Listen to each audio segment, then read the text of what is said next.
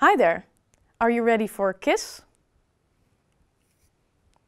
In this video, you will learn how to solve another problem using the KISS method. As you remember, the technique we're going to use is based on four steps. Knowledge, insight, skill and solution, or KISS. I will show you how to use this technique to find the answer to a question. The problem you will solve today is as follows. Find the critical points of the function f of x and y equals y squared minus 2 times y times the cosine of x with x between minus 1 and 4. And classify the critical points. The first step of KISS is knowledge. What do you know about this problem? Which theorems and definitions have something to do with this question? First notice the term critical point. You want to find the critical points of a function of multiple variables.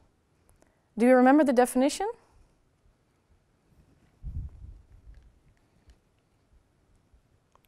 Then you see that you also need to classify these points. You probably remember that you're going to need the partial derivatives of the function. And because it is a function of multiple variables, you also need the second partial derivatives. So which theorem or definition do you need for that? In the lectures you learned about the second derivatives test, so this theorem might come in handy. You're now ready to show you have insight into the problem by developing a plan to solve the question. The first step is to find the critical points. Do this by finding the partial derivatives of f and calculating the points for which they are equal to zero. Next, check if the partial derivatives of f are not defined for certain values of x and y, because critical points can also appear at these points. The second step is to calculate the second partial derivatives. With these derivatives you can compute the determinant of the critical points. Once you know the determinant and the value of the second partial derivative of f with respect to x, you can classify the critical points using the second derivatives test. With this plan, you finish the insight step. The next step is skill. Use your skills to execute the plan of attack. First, you want to find the critical points. Therefore, use the derivatives. The derivative of f with respect to x is equal to 2 times y times the sine of x.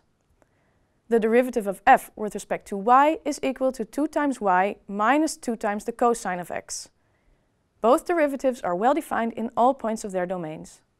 Therefore, a critical point will be a point where both derivatives are equal to 0. So, 2y times the sine of x equals 0 and 2y minus 2 times the cosine of x equals 0. If 2y sine of x equals 0, then either y can equal 0 or the sine of x must equal 0.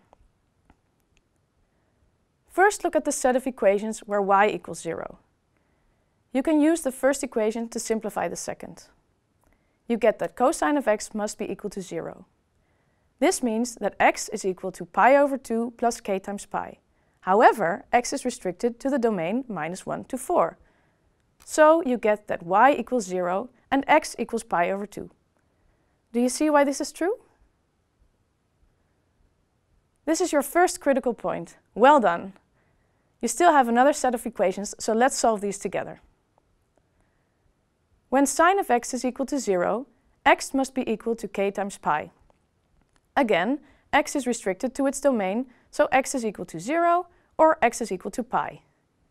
You end up with two sets of equations which you still have to solve for y. Using that x is equal to 0, you get that 2y minus 2 must be equal to 0. So y equals 1.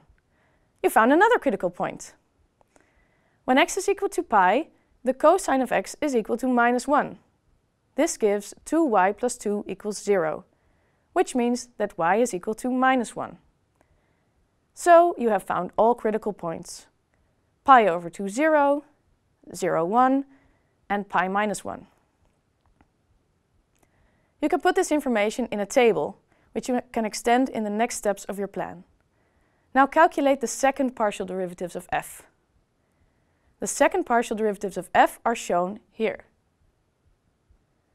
Next, you need to calculate these second partial derivatives in the critical points you found in the previous step of your plan. This is what you end up with.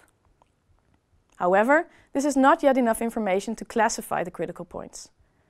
The next step is to determine the determinant.